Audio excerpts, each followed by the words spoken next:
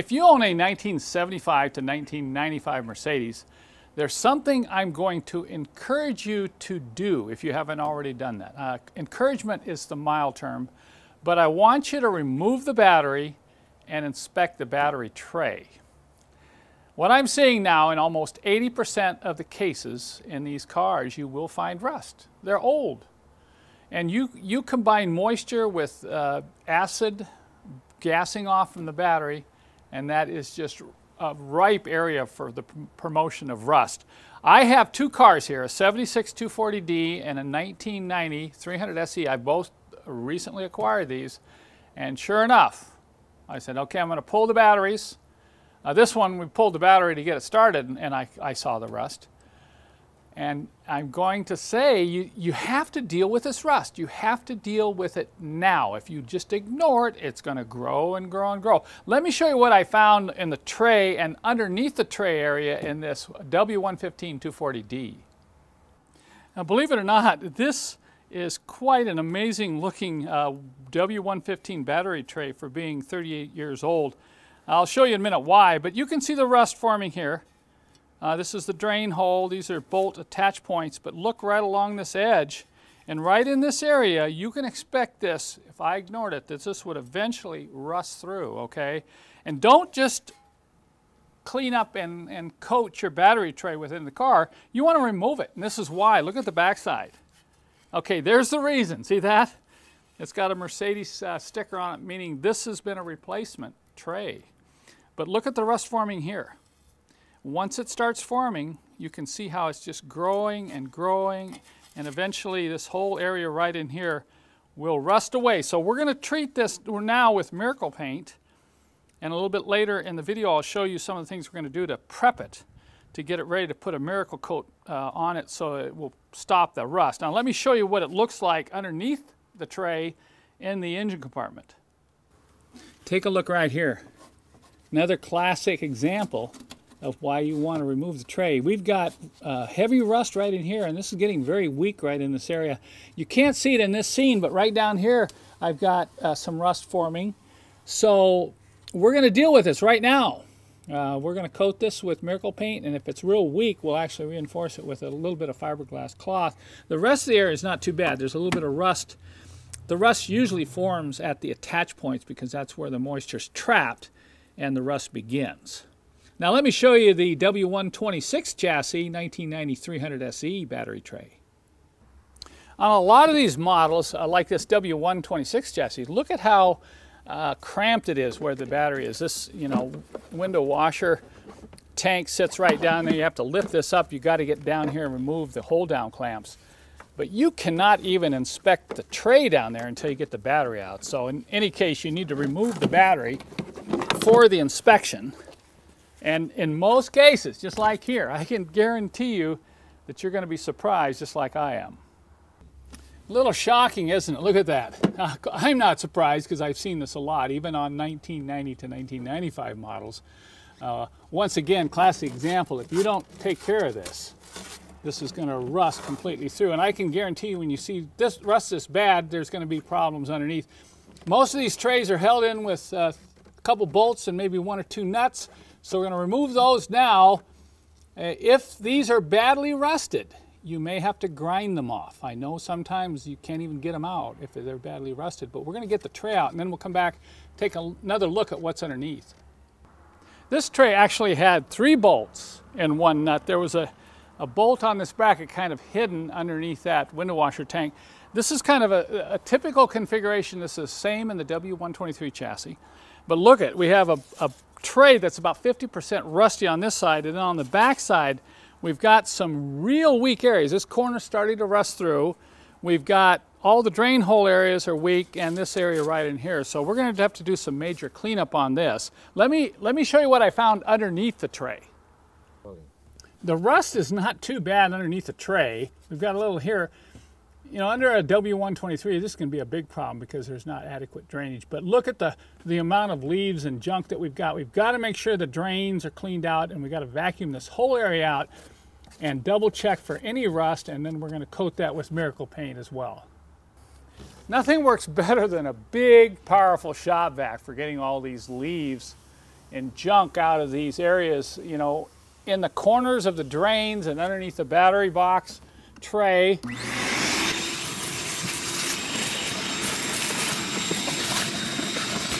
Sometimes even suck up stuff you don't want to suck up.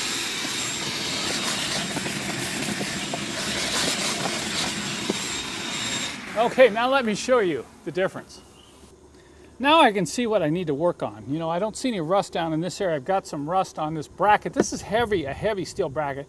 This isn't a big concern, but I do want to I do want to stop this. But what I'm concerned about is this right in here on the body panel. That's starting to rust there. Eventually that'll rust through, causing a hole into the car, and that's how a lot of water gets into your car. It comes under the battery tray, particularly in the W123. We'll clean this all up with my uh, Purple Power and sprayers, and then we'll coat it and come back and show you the end results. Now the real fun begins. I've got two rusty battery trays to clean up and a couple areas in these engine compartments. Uh, you know, if you had a cabinet sandblaster, that'd work great for the trays. It'd be very quick. But what's nice about using Miracle Paint is you don't have to remove all the rust. If you're using any other product, you would need to sandblast and completely get any rust out of these trays. And even having a sandblast cabinet is kind of tough. So I use this tool because I know many of you may have this tool. You're going to see this tool cropping up in a number of my videos because the more I use these, these variable speed multi tools, the happier I am with what you can do with these in and around working on old cars. Particularly like trying to get down in here in these tight areas to get these rusts, the rust out of these drain holes and so on. So I'm going to show you up close how this works. Once again, you don't need to get all the rust off. You need to get all the flaky rust off. You need to get any of the, the you know, the, the roughness. And you need to sand out into the painted area. I'm not going to put Miracle Coat on the entire tray because it doesn't stick that well to paint. It sticks to rust, okay? And we kind of blend it in, and when we're done, we're going to spray paint the whole tray. So let me show you how this multi-tool works on one of these right here. Here's the tool and here's the special attachment. I like this pointed attachment here because it can get up in corners. This is the same attachment I use for my aluminum anodized polish kit. Now I'm going to stop just here a second and put my respirator on because uh, you know you should wear a respirator so I won't talk as I show you just a couple areas where I'm going to uh, knock this rust down and smooth it out.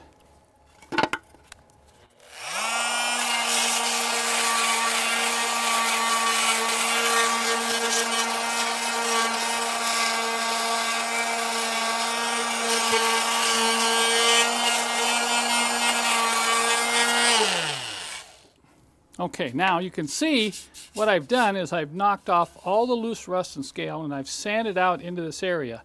I may hit this once more.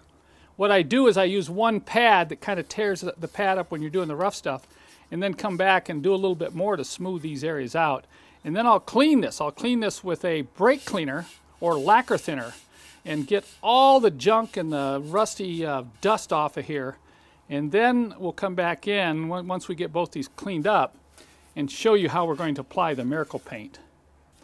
Okay, I've prepped the W115 battery tray. You can see where I've, I've sanded the areas and tapered them out from the rust spots, both on the, top and the bottom side here. I should mention a couple things. One is if you have an air compressor, this is only going to work if you have an air compressor. These little air die grinder tools with the, the small sanding attachments like you see here, these work even better than the multi-tool. And they allow you to really cut into the metal uh, a lot quicker. But if you don't have, if you don't have a compressor and air tools, then the multi-tool is probably your best bet for the cost.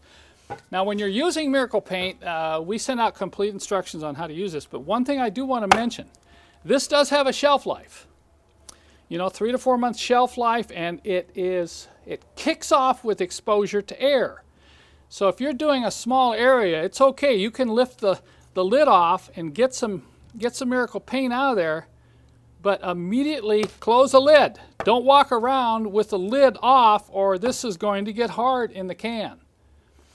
The other thing you can do is take this and pour it into a little container and then work from the small container. But what I'm going to do here is all I'm going to do is cover the areas of rust and the areas I've sanded. Once again, Miracle Paint does not stick well to smooth paint. So you do not want to coat the entire tray with, with the Miracle Paint. Okay, now I'll let that sit. It'll, it'll flatten out a little bit. Then I'm going to lift the can up. I'll get another little application of Miracle Paint. And then I'm going to come in and do this area. And you just lay it on we, we sell the heavy duty thick Miracle paint. Doesn't tend to run. One of the things I don't like about POR 15 is it tends to run all over the place and doesn't is here as well as Miracle paint over the long haul. Okay, that's all I need to show you at this point. It's going to take me a few minutes to go around do all these spots and do this bottom section. Then we'll do the areas inside the engine compartment and I'll come back and show you the final uh, results before we reinstall the tray. I have the two battery trays coated and painted and look at them. You'll have to admit that that looks a lot better. Obviously, it's not going to look like factory brand new unless you spend a lot of time sanding and recoating and filling and so on. But I'm more interested in having it protected against future rust, okay? And once you get the battery in here, this is gonna look just fine. And looking down in the engine compartment, you can see where I've coated those rust places here. And, you know, once again, I don't need to uh, coat those with the color of the car because they're gonna be kind of hidden down underneath the tray and in behind the battery. So I will just leave those like that and go ahead and reinstall this tray and we'll get the battery back in the car and we'll be, we'll be going down the road. Now there's a couple things I should mention that I didn't mention earlier is when you're prepping the battery tray uh, for the Miracle Paint, it has to be super clean. If you have any oil or grease on uh, the tray in the metal, embedded in the metal, the Miracle Paint is going to fisheye. And by fisheye, it's going to get little bubbles. It'll start separating from the surface. So what I recommend you do, even before you start sanding, this is really important. If you take a power sand of this and you got grease and dirt, that sanding disc will pick the dirt up and it'll grind it right down into the metal. So it's very important that you clean the battery tray thoroughly even before you start sanding and scraping on it, okay? One of the best products I found to do this, believe it or not, is good old Bon Ami. Um, you know, you can, you can get and really scrub up a heavy paste. We're not just talking about a, a soapy substance here. We're talking about a heavy paste. Rinse it, do it again, and the tray should run, the water should just bead right off. It shouldn't, you know, look like it's got wax on it or, or oil. Usually if you've been around cleaning things, you know if you've left a little film on it, you know, you're gonna, the little water spots are gonna kind of pop up like, like you see just after you wax a car. And then this is really important. Don't try to put Miracle Paint on this if there's any moisture. Now you might think it's dry, but if you've just cleaned it and washed it and rinsed it, and you think, oh, I'm going to start, I just dry it with a towel, you can have a real problem. You'll also get fish eyeing. So I recommend that if you can't put it out in the hot sun, you get a, you get a hair dryer, a blow gun, and really make sure the surface is dry before you put the Miracle Paint on these, uh, anything, anything, make sure the surface is dry and totally moisture free. Now I mentioned, I mentioned something else about Miracle Paint not wanting to stick to smooth painted surfaces. Well, it'll stick, but what I meant was over the long haul. Because look at here, it sticks to, it sticks to wax paper, okay? So don't, don't think you can coat your uh, tray and put it on wax paper and not have it stick.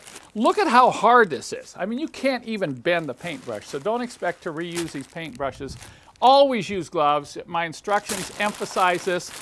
And always when you reseal the lids, always put either a, a piece of plastic or wax paper because if you let Miracle Paint in that groove and you seal the lid, you will not get the lid off. I guarantee it.